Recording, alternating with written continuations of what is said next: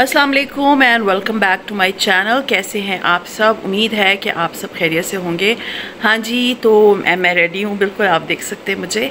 और मुझे जाना है, बहुत ज़रूरी दो तीन मेरे काम हैं। और मैं दिखाती हूँ कि मैं किधर किधर जा रही हूँ और क्या क्या मुझे ख़रीदना है।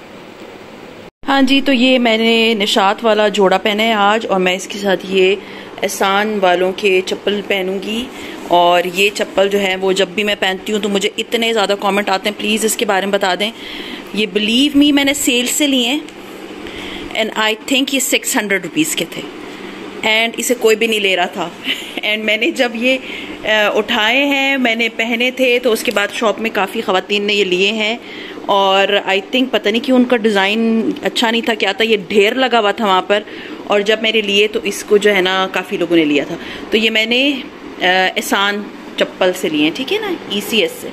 तो ये अब मैं पहन रही हूँ और बस आई एम रेडी और मैं आपको, बस मैं अब निकल रही हूँ। हाँ जी तो ये डोर जो है ना, ये मैंने लॉक लगाना है।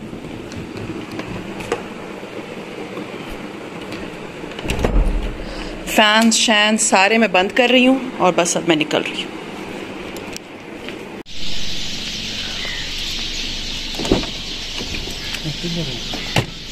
क्या स्प्रे कौन सा वाला स्प्रे स्प्रे यही नीचे रखा था मैंने ये रख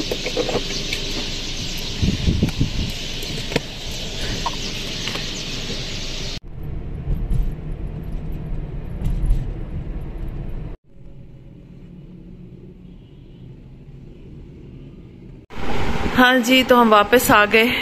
इतना रश था इतना रश था सीरियसली कि मैं ना कहीं उतरी हूँ, मैं मरी रोड गई थी, असल में मुझे कुछ ख़रीदना था और वहाँ पर रश की वजह से हम वापस आ गए।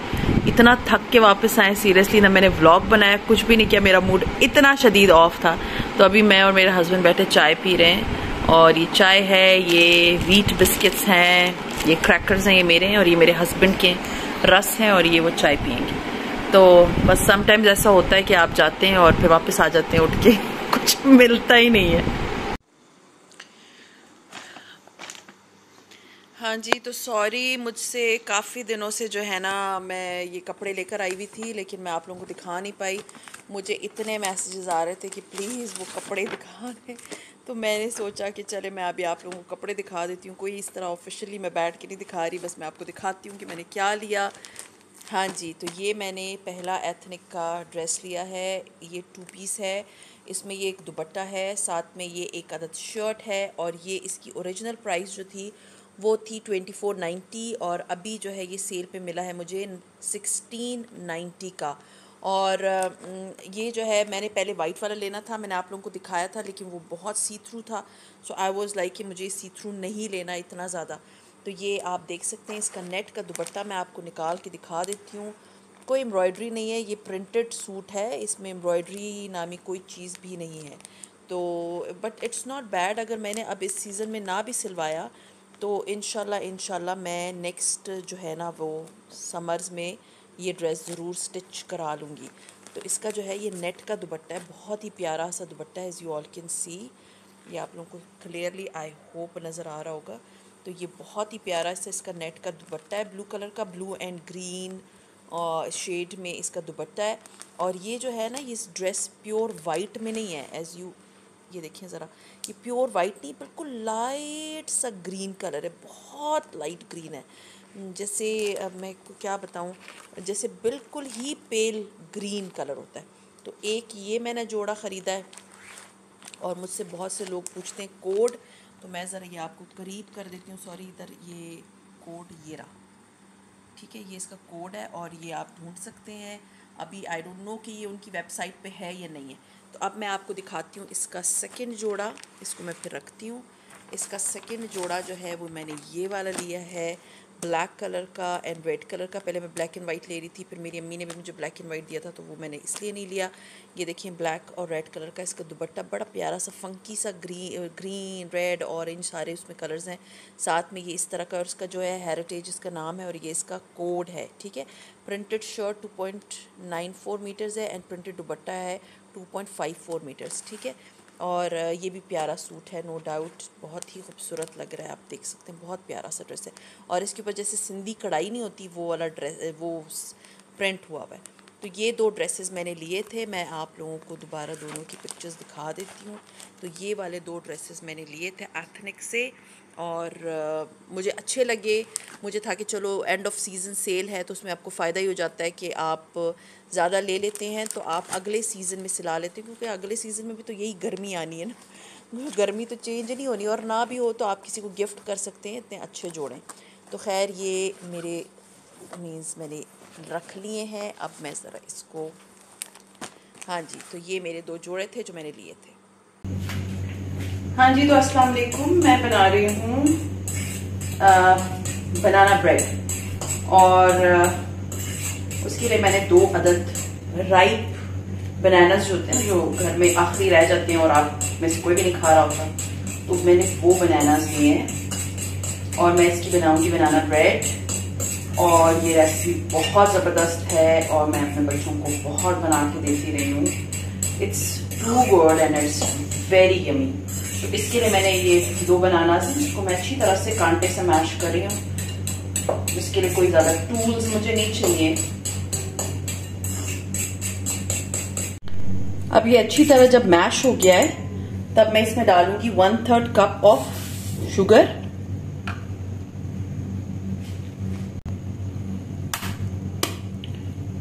one egg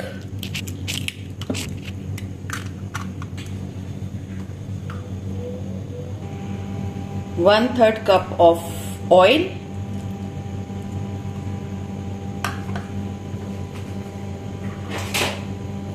और ये विस्क से मैं इसको अच्छी तरह से मिक्स कर दूँगी। अच्छी तरह से मिक्स करना है कि चीनी अच्छी तरह से घुल जाए। ये इसके नीचे मैं मैट रख रही हूँ, क्योंकि ये जब हिलता है तो इसमें से आवाज़ आती है तो ये अब नहीं आएगी। इसको अच्छी तरह से हमने फेंटते जाना है।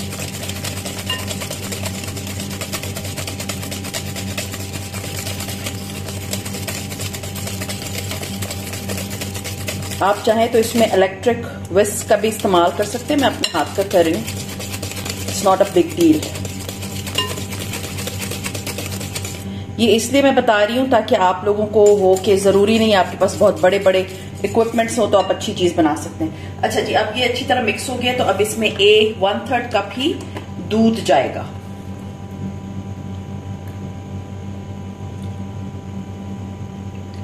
बस बेकिंग में ना आपने एक चीज़ याद रखनी है मेजरमेंट्स अगर आपकी मेजरमेंट्स ठीक होंगी ना तो आपका केक बहुत अच्छा बनेगा। ये वन थर्ड कप मैंने इसमें डाल दिया दूध का।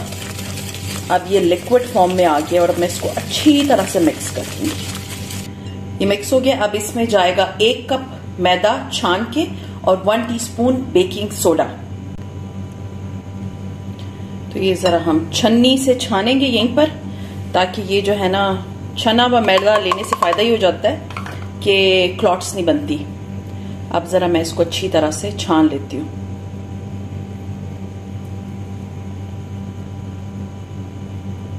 छन गया मैदा और अब मैं इसमें डालूँगी वन टीस्पून के बराबर बेकिंग सोडा ये वन टीस्पून सोडा है। मैंने ये इसमें शामिल कर दिया। और अब मैं इसको अच्छी तरह से मिक्स कर दूँगी। इतने मज़े की ना, इसमें से खुशबू आती है बनाना की। ठीक है? अब ये हमारा जो बैटर है इट्स रेडी देखिए ज़रा हार्डली मुझे 10 मिनट लगे सारी चीज़ों को रेडी करने में। बस वो जो चीज़ें चीज़ें निकाल के रखनी होती है ना उसमें सारा टाइम लगता है।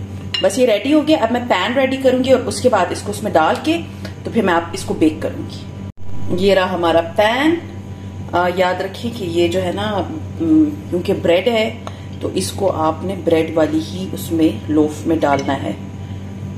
केक नहीं है ये ठीक है ना? बनाना ब्रेड इसको बोलते हैं। तो आपने इसको नॉर्मल जो आपके पास इस शेप की आ, जो भी पैन होगा आप उसमें इसको ग्रीस करेंगे। नॉर्मल मैंने सिर्फ़ ऑयल लगाया है।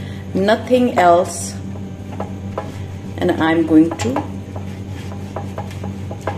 pour ये साइड पे भी ना आपने ये ऑयल लगा लेना है ताकि ये जो है बैटर वो जो है ना आराम से निकल आए जब ये केक बनेगा। हाँ जी तो ये बनाना ब्रेड का बैटर इसके अंदर जा रहा है। थोड़ा लंपी होगा, ये याद रखिएगा, क्योंकि ये ब्रेड है।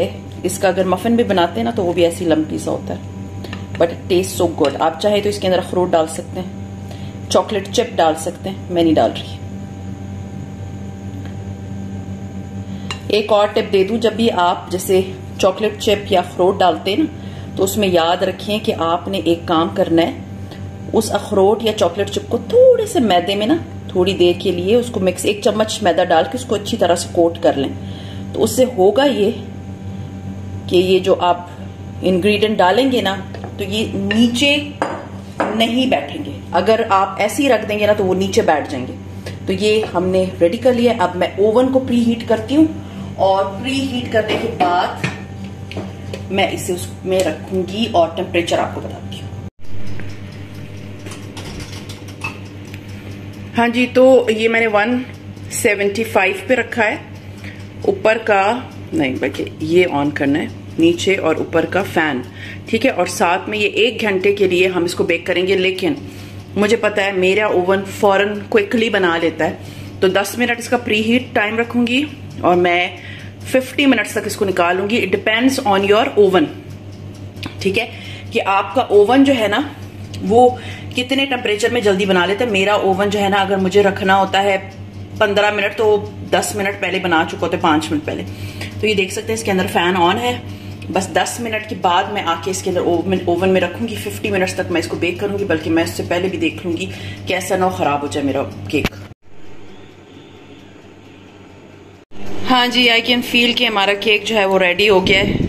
As you all can see यहाँ पर टाइम अभी 20 मिनट्स रहते हैं, लेकिन ये मुझे लग रहा है रेडी हो गया। मैं इसको निकाल के एक दफ़ा चेक कर लूँगी प्रिक करके अगर ये बिल्कुल सही निकला, इसका मतलब हमारा केक रेडी हो गया।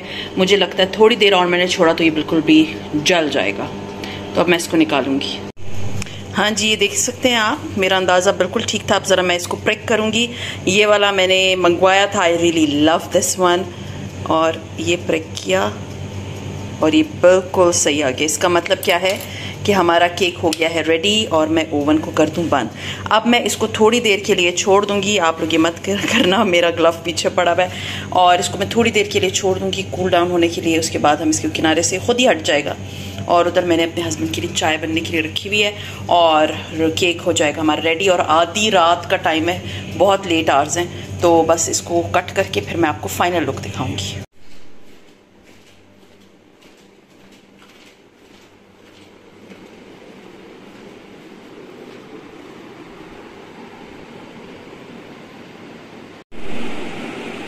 हाँ जी, हमारी बनाना ब्रेड जो है वो परफेक्टली रेडी हो गई है। अब मैं इसको कट करके आपको दिखाती हूँ कि इसकी अंदर की लुक कैसी है। थोड़ी देर के लिए मैंने इसको छोड़ दिया था। अगर आप इसको एक आध घंटे के लिए छोड़ देंगे तो ये बहुत अच्छी कटेगी। अभी ये थोड़ी सी गर्म है और रात बहुत लेट हो गया है तो मुझे था कि मैं चलो सर्व कर देती हूँ।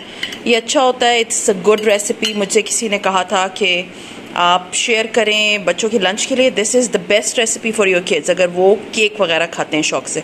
तो रेसिपी बहुत ईजी थी और बेक हो गया. ये अंदर से आप देख सकते हैं. It's very soft and very yummy smells like bananas तो अब बस मैं इसका एक बाइट लेती हूँ.